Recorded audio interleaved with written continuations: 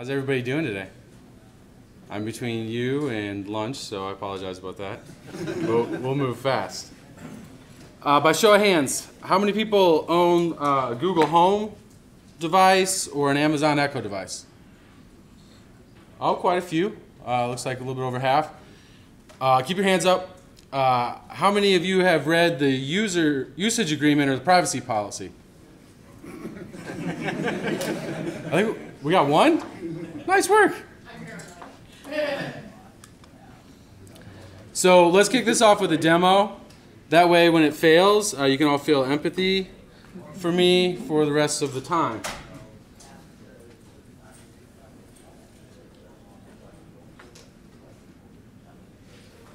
Let me do this so that you can see what it is I'm doing over here.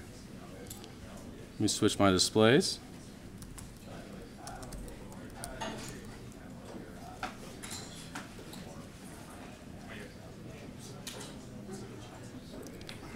Arrangement, mirror. Way up there. Coming up.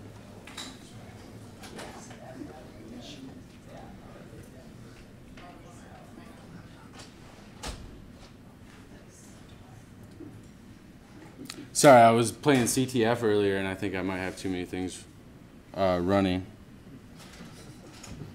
All right, here we go.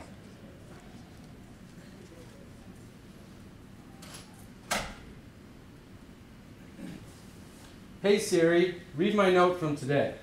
I found one item. Your note from today called Welcome B-Sides Attendees says, Alexa, read my conferences list. You have one item on the conferences list. Okay, Google, what is on my B-sides list? Your shopping list has one item. Hey Siri, read my note from today. I found one item. Your note from today called Welcome B-Sides Attendees says, Alexa, read my conferences list. You have one item on your conferences list. Okay, Google, what is on my B-sides list? There is one item on your shopping list. Hey Siri, read my note from today. Okay, they could go on forever. I'm sure of that. Switch my displays back.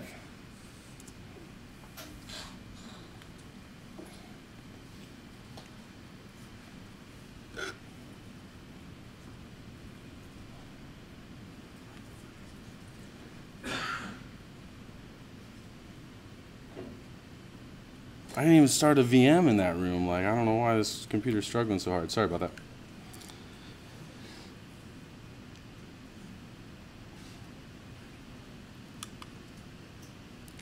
All right, good. I did. I made a recording of this ahead of time because I figured it was going to fail, but it uh, actually didn't. So, applause.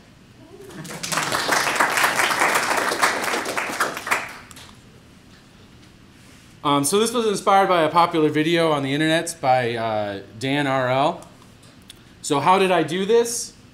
Well, a magician never reveals their tricks. But good thing I'm not a magician. I'm an engineer, but not that kind of engineer. Um, I did all the setup for this from my phone. So I basically did an Apple Note, a Google shopping list, and an Amazon list. The thing you need to get this to you work can share your shopping list by opening the list in the Google Home app, tapping the share button, and adding the person you want to share it with. The thing you need to do to get this to work is to use a little bit of nature, like the reeds and the bees. Um, you see, when I said uh, read, like you would read a book, it kept pronouncing it red, like the color red. And um, initially, oh man. No, it's that it's that it's not loading my pictures. Um, also, uh, so it would say red like the color red, and initially I had uh, B-sides as one of the words, as, as like one single word, and it kept on saying B-sides.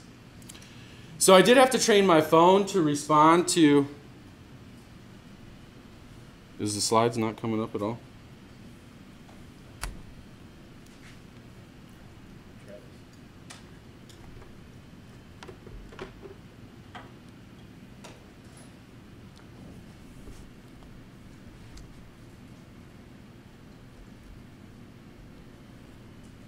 Pull this up.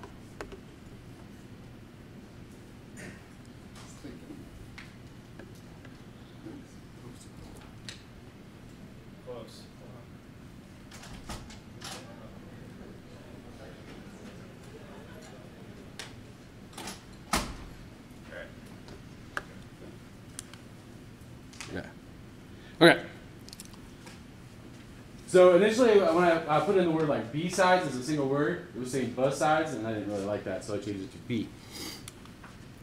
I did have to train my phone to respond to the Google Home uh, voice to get that full loop going. So to do this, you have to turn off the settings uh, for at least 10 seconds and then turn it back on. This is going to prompt uh, the teaching of the voice. Then I had to say, okay, Google, say, hey Siri a bunch of times.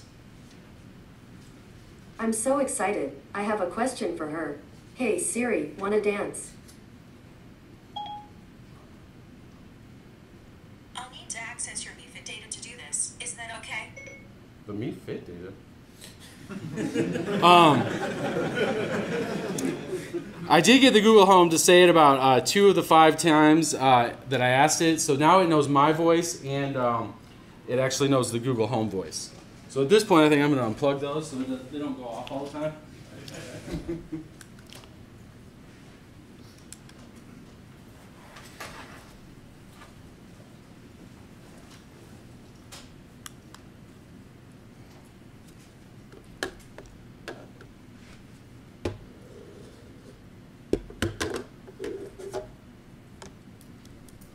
Okay, we're just going to go to Activity Monitor and kill everything.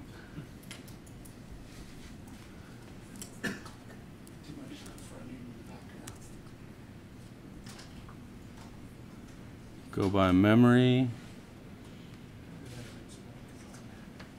Firefox is probably the culprit. Quit.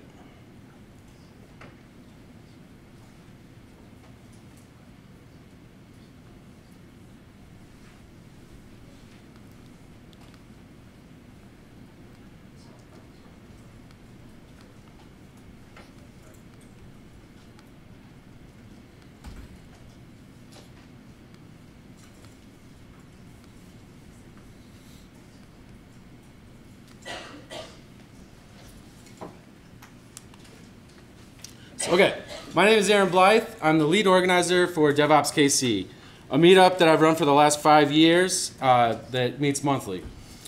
Also, we're working on our third uh, DevOps Days KC, which is a conference coming up this October, which you should check out. Um, you should also check out the video from last year's event uh, at Sizzle, DevOpsDaysKC.org. I currently work at New Relic, which is an awesome software as a service uh, company that gives you incredible insight into your software. So the most common use case in my house is to ask these devices to make animal sounds. This is my two-year-old daughter, Lila.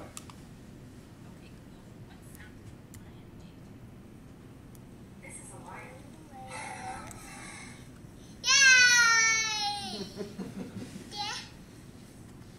Should we do more? Okay, Google. What sound does a dog make? This is a dog. Okay, Google. What sound does a cat make? A cat sounds like this.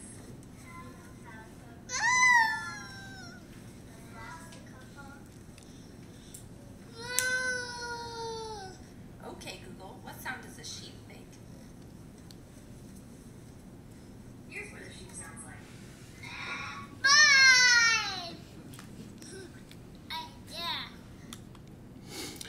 So before I get too deep into the analysis of the traffic, I do want to go over the functionality of these devices for my common use cases.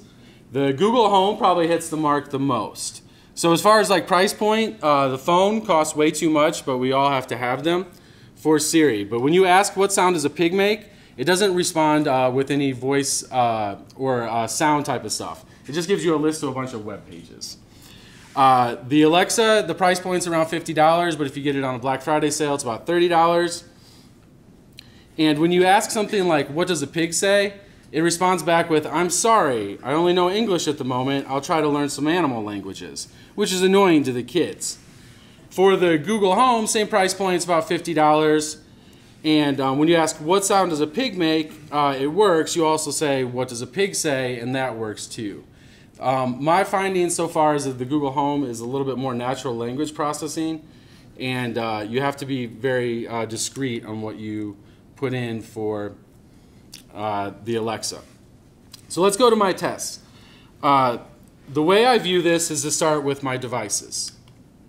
Data flows through to my router, but there's also uh, an agreement that goes on uh, that I have with these companies. The data then flows to the companies that are providing the services. This also completes the transaction that's part of the agreement for the data. So I'm going to start with the router and move counterclockwise around uh, each of the components. The first question I'm asking is what traffic is leaving my house? So I'm going to start with the Echo Dot. So I have many Amazon devices. I've got a couple of Echoes, some Kindle tablets, Fire Sticks for watching TV. I don't have cable. I only have over the air and um, streaming devices. So all these dev devices connect to my Wi-Fi. So I had to figure out which device was the one that I wanted to hone in on. I believe the first device I ever connected to my network was listed as Amazon, and then all the devices after that say Amazon and then dash nine numbers or characters. I don't know what that those numbers or characters mean. I don't think it's a MAC address or anything, but since this is a, a security conference, not a hacker conference, I did black uh, uh, white all that out so that you can't see it. So my initial analysis starts with the access time. I did things on the devices to see how often it's sending things back from the log on my router. What I observed with the Echo, for the most part, that it only seems to be sending out requests when that keyword is used. Then I moved on to looking at the domains. The first set of domains I'm mostly fine with. Here we have the Amazon.com domains, Pandora, and Spotify. I did have to look up AmazonCRL.com. However, this is listed as being owned by Amazon. So a small tangent on WHOIS. This tool is essential when you're trying to do analysis uh, such as this as far as what's going on. If you're a fan of Krebs on security, he's been talking about how the GDPR recently, that's the um, EU's General Data Protection Regulation, is kind of going after WHOIS. It sucks. Um, ICANN is scrambling on this, and possibly it's going to take about a year to get the changes made, and then over the course of that time, they're going to have to uh, pay a bunch of fines. So that sucks. Anyways, um, the ones I was not sure about were these three. We'll start with the CloudFront. Um, I did check that the, the URLs that were being uh, used from the device actually need authentic, uh, authentication. And this is owned by Amazon. It's, it's, simply their CDN. I still have not been able to figure out uh, why it's uh, the Echo is actually sending data to Google. And that's one that I'm still uh, trying to figure out. So if you want to come see me in the CTF room after this. Maybe we can try to figure that out. And then the final domain is also registered to Amazon. So let's move on to the Google Home Mini. The Google Home Mini sends information much more frequently. And um, at this initial level, does not seem to be bound by uh, uh, whether or not I'm using the keyword. As I just had it sitting there and I was updating this log, I was seeing uh, more traffic go out. So these domains don't surprise me that much. We've got Google domains, we've got Pandora. These are the ones that were of interest to me. So starting with the first one, which is redirector.gvt1.com. A quick Google search would make you think something was uh, seriously wrong. So uh, as you read some of these things, I've got a possible infection, uh, sign of a virus, uh, how to remove this.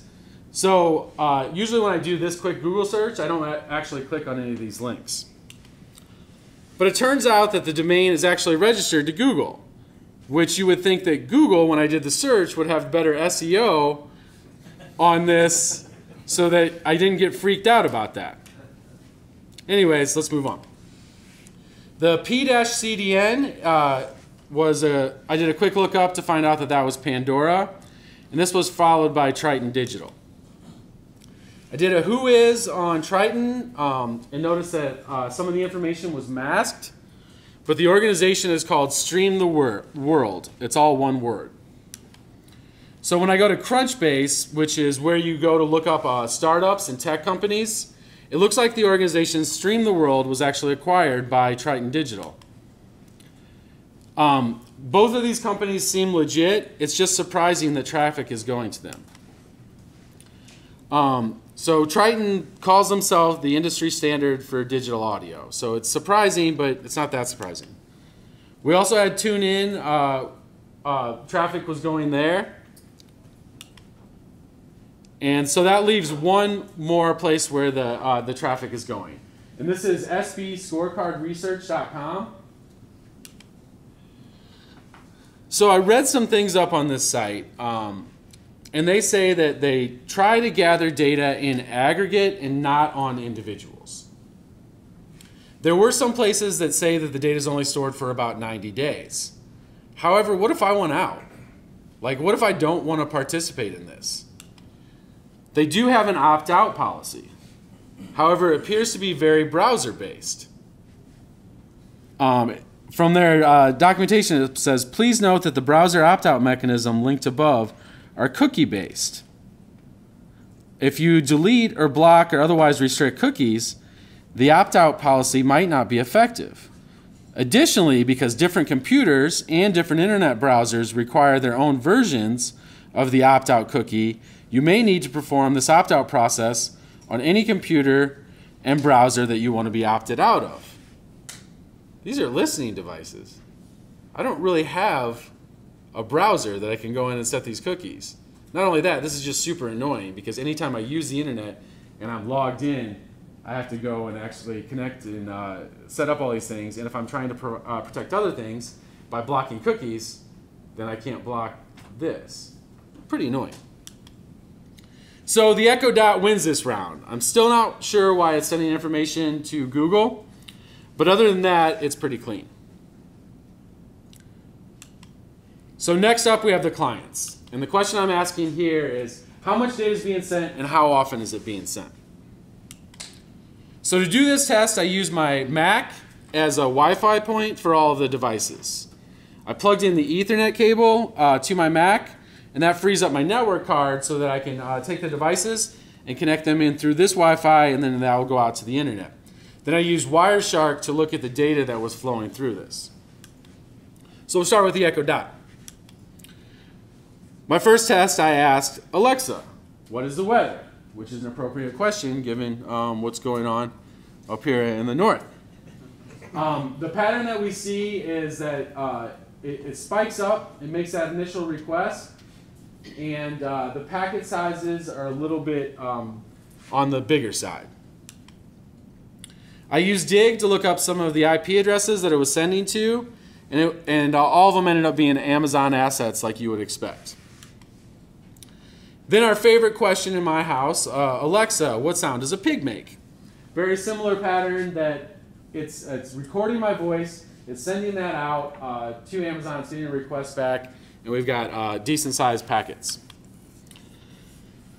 So then I wanted to see kind of a baseline. What happens when it's just running and I'm not interacting with it? Uh, on these screens, you see that the traffic is much lower and what I did was for three minutes, I was just silent and let it run and looked at all the traffic.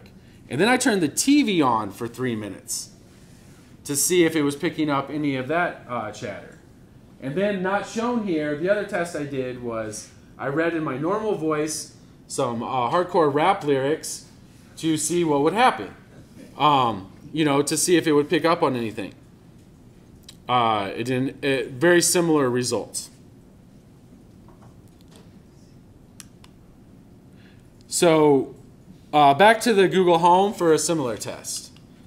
Again, with the what's the weather, we see a spike up, it sends the traffic off, and we're um, at much higher packet sizes. One thing I noticed that was interesting was where it was sending the, uh, the, the traffic to is 1e100.net. So you can look this up on Google. They're pretty uh, excited about it, right? Because if you know the history behind Google, like when I was a kid, we would say googol. That's the, the number with 100 zeros after it, right? And that's spelled um, G O O G O L. So they actually have this domain uh, registered to Google, and they've got a whole story about it um, on their site. The rest of the traffic was going to places where I would expect it to go. So then we did my test where I said, okay, Google, what sound does a pig make? Very similar traffic.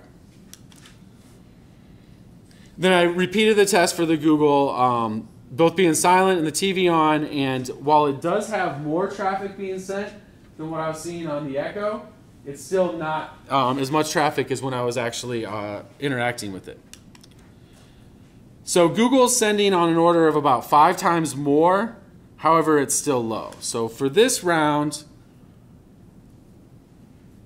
um, let's look at the number in aggregate. Uh, uh, aggregate. These are the uh, the packet bytes that were sent. So I did my five to sec uh, 10 second test where I actually interacted with it. It was sending quite a quite a bit more bytes. The um, the Google Home sends more on average uh, than what Amazon is sending, but um, you can see that in 10 seconds. I don't think what what I'm concluding is I don't think that it's actually listening in all the time. It's listening for that keyword and it's only sending when uh, that keyword is used. So let's move on to the agreement. First up, the Echo Dot. These agreements read like the central theme is to use the device to uh, purchase things. What I found in the agreement is that it actually creates a, a voice profile, but it does allow you to delete that voice profile in the voice recordings that you have. So a few things about the Alexa uh, terms of use. My lord, are these things boring. Uh, this was updated two days before I grabbed this uh, screen capture. However, I can't find an earlier version anywhere. And one of the things that it says directly in the agreement is that we may change, suspend, discontinue Alexa or any part of it at any time without notice. We can amend this agreement at our sole discretion by uh, posting a revised terms on the Amazon.com website. So basically, whatever you whatever you're agreeing to, they reserve the right to absolutely change. And I can't find the earlier versions to figure out what I agreed to previously. The only way I can find them is to use the Wayback Machine, which isn't something that I really um, trust that much in the company if they're not going to show me the previous versions. Similarly, on the Google Home Mini, uh, this agreement actually reads like they're covering themselves to track you so that they can sell ads. Um, it's much easier to find the archives here because they have a link directly to all the previous versions. For the Google Home Mini itself, um, the, the privacy uh, concerns, I hate these type of documents because you can't really search them unless you go through and expand everything. So on this round, I really wasn't happy with uh, any of the things as far as the agreement. I did like that it allows deletion, but when we go into the next round, we'll find that maybe, maybe deletion doesn't mean what you actually think it does. So now we're moving on to the server side and what's actually saved on the servers. So the Amazon service actually creates a, a voice profile over the time, and they uh, they save all of your voice recordings. Um, what is weird is when I it where you actually delete these is over in your consumer Amazon account. It's not in the Alexa.amazon.com app, and I had to find this through that earlier legal document. It wasn't very easy to find where to do this, and once I got there, the only option is to, to scorch the earth. You have to delete your entire voice profile. You can't delete a single recording. Um, you can just delete the whole thing. I also want to note that I'm an AWS user, and one thing I think that's weird about the AWS uh, agreement is that you really can't fully delete your account. Uh, they, they keep your name, your address, and your payment information in case you ever want to reopen it later. So this to me is kind of uh, um, scary, I guess. So for the Google Home Mini, uh, Google has quite granular saving of all of your stuff. You can go and see your activity on My Activity in a, in um, in like a timeline type of format. So here we can see the questions that we are asking it. Uh, what sound does a, um, a pig make? Um, what sound? What does a horse sound like? and I can mark a single recording for deletion. So this is kind of a timeline type of format, but don't get that confused with what Google also has, uh, which is maps.timeline. If you're allowing Google to track you on your device, you can go and basically see an entire timeline of everywhere you've ever been. I don't have this particular feature on. This is not mine. I grabbed this link for uh, this picture from the internet. So back to my activity. Um, it's not only your voice stuff here, it's all of your Google profile related to your data, your searches, your browser uh, usage, everything. In fact, you can download your archive of 35 different products in um, the default is two gigabyte uh, zip files. So I went ahead and did this. In nearly six hours later, I was presented with seven archives. So roughly about 15 gigs worth of data on the last 10 years about myself. And one of the things that you'll find here is deletion doesn't necessarily mean what you think it is. Uh, people have found that emails that they've deleted show up directly in these archives. So it's not even like it's marked for deletion, like they're um, not going to give it back to you and it's just on their servers. It is still completely retrievable. So if you want to freak yourself out, uh, this uh, Twitter link is awesome. You can go to a bunch of things and see all the things that Google is storing about you. Uh, this particular Twitter user, uh, Dylan Curran, is uh, actually pretty funny. Um, and he's got a great podcast that I, I, recommend. So in this round, I'm not happy with uh, either of the devices. Um, the deletion is not really clear, and it doesn't mean exactly uh, what I would expect. So now that we've been through the entire ecosystem of how everything fits together, I do want to look at one, uh, one more last thing. Um, the way that we expect this to work based on what we've been told. So, March 2016 in the New York Times, what we've been told is it doesn't stream anything without using the wake word, right? So we're at um, March 16. The um, it doesn't stream anything without using the wake word, and it has a physical mute button that electronically disconnects the microphone. But as with all gra- uh, groundbreaking breaking technologies, there's no doubt we're entering new territory here. About a year later, March 2017, uh, from the Tech Times. At the present, uh, the third party Alexa device only performs a single verification check deter- to determine if someone indeed uttered Alexa. But thanks to the new verification feature, the device can now send the audio to Amazon servers to make sure that it really hears the right wake word. So, what this means is initially what we thought was it's just listening for um, Alexa on the microphone here, and then it's not going to send anything unless it hears that. Now it's listening for Alexa, and if it thinks it hears something close to Alexa because they're having a lot of issues with the uh, uh, things similar to Alexa being the wake word, so now it's sending the wake word and possibly whatever happens right after that up to the servers to verify, and then not responding unless it actually um, is verified that it's a wake word.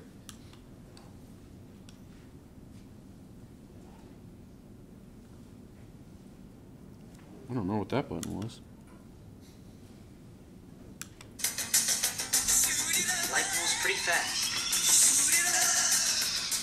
If you don't stop and look around once in a while, you could miss it.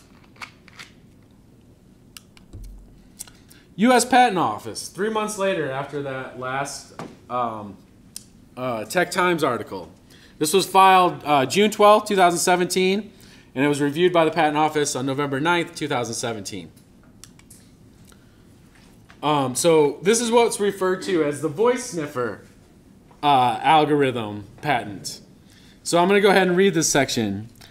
Uh, in one embodiment, voice sniffer algorithm can um, cause a snippet or portion of the audio, including and or immediately following the trigger word, to be captured for analysis.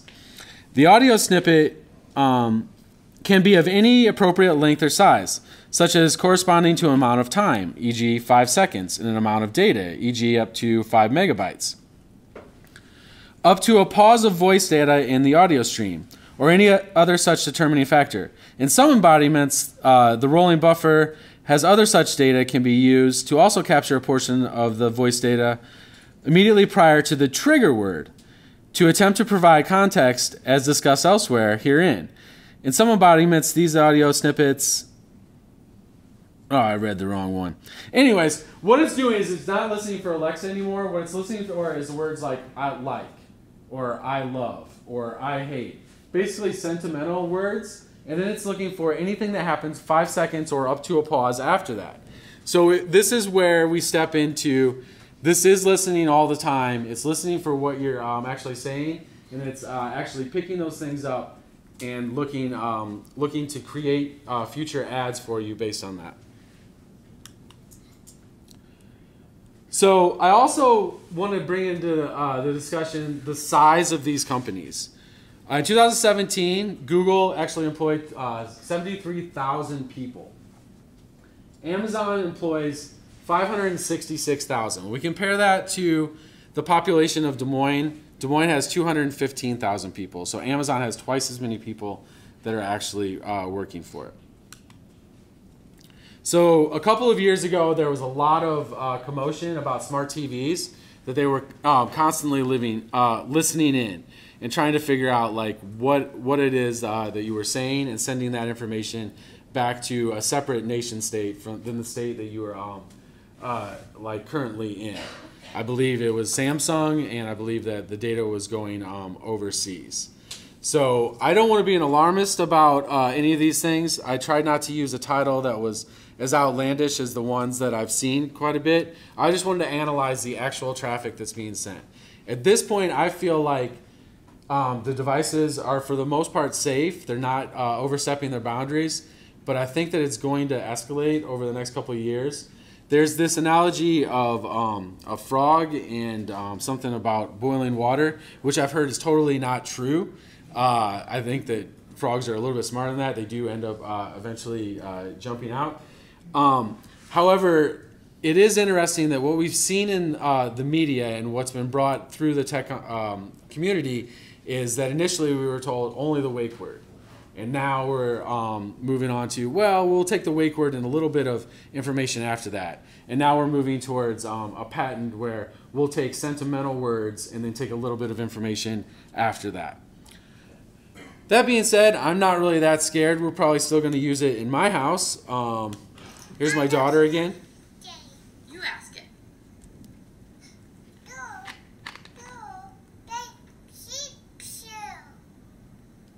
Okay, Google, make a sheep sound. This is a sheep. Okay, you ask it, Lila.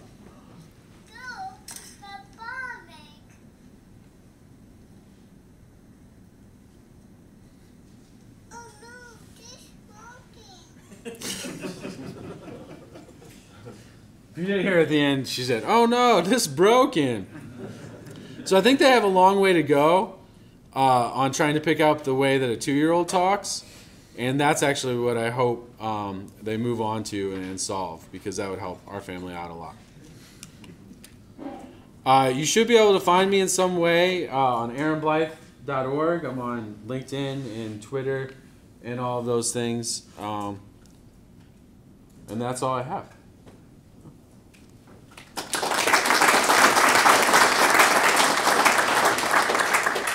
Anybody have any questions? Thoughts? Have you tried blocking any of those domains that the data's going out to just to see what happens if it would function? That's the next step. The the SB scorecard one, I do want to just block that using like a Pi-hole or something mm-hmm. to so that like stuff doesn't go out there, because they don't they provide a way to not send it, but the way doesn't work. So I'm just curious if it even function when you do that, if it would detect that. I don't know. That that would be interesting. Um, for like for the voice analysis, could it is it like really possible to do that on a device that's small and still make it affordable? Or the reason that they're sending a lot of it, not just to collect the data, but to do the voice analysis on the servers. Yeah, that's that's an interesting thing about all of these is I don't know that they pick the best words for the wake word. Alexa is um, the interesting part is when I first started working on this, I worked on a team, and one of one of the four people on that team was named Alexa. She's the only person I've met in my life named Alexa, Uh, and it was interesting because uh, at that time we all had to change our wake word to like Echo, which was the only other possibility. Now I think there's four. There's computer, Echo, Alexa, and does someone help me out? I don't know what the other one is. Um, I think that it can do the, the analysis pretty well of, of that, but they did run into problems where other words were triggering it. So I don't know. I don't know what it is that they're doing on the server that they, they can't do locally. The other thing that I have noticed is I haven't really ran updates on this. I don't know if it's pushing updates directly because I've never like every other device I have across all of the the tech stuff. You have to sit there, even like my Fire TV, um, everything. You have to go do the annoying updates. Um, so that's another thing I want to look into. But I, what's that? Oh, we'll plug it back in. Just nobody order um, paper towels or anything for me. Do uh, another question over here? Yeah, um, was it one of the two specific companies that had the patent around sentiment analysis, or are they both doing some kind of, uh, and you may have mentioned this in the talk.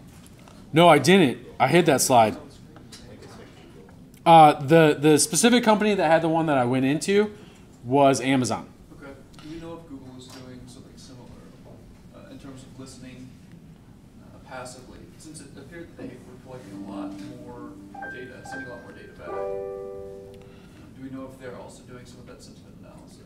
Funny you should say that.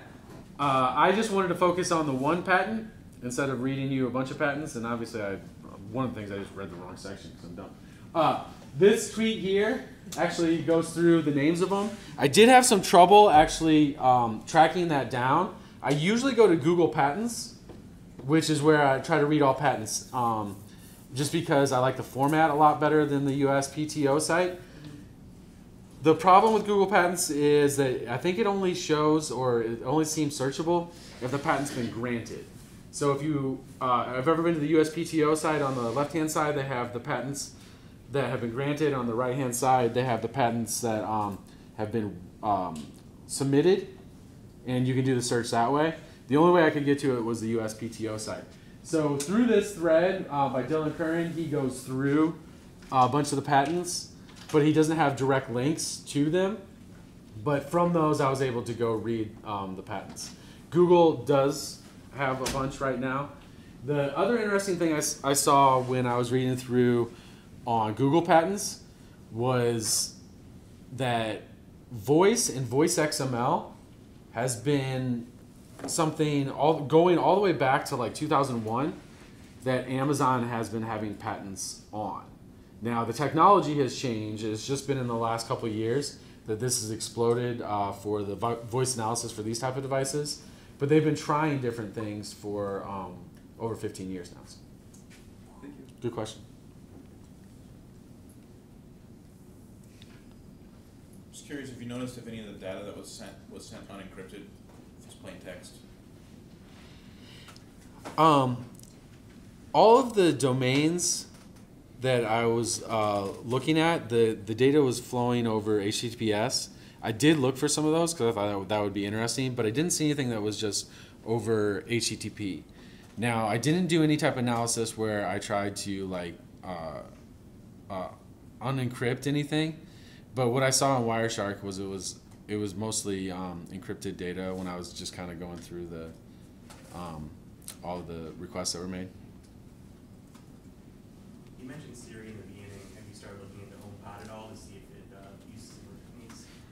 I haven't. The price point on that's uh, still a lot. I have the the the big uh, Echo from the beginning.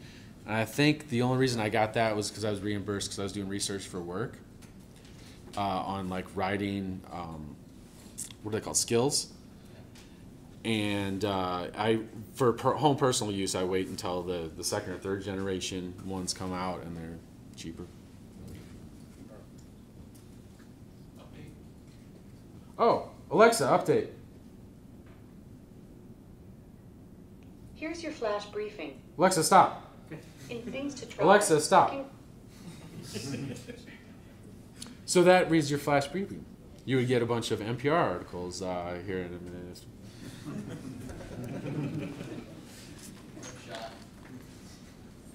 Anything else, or is lunchtime?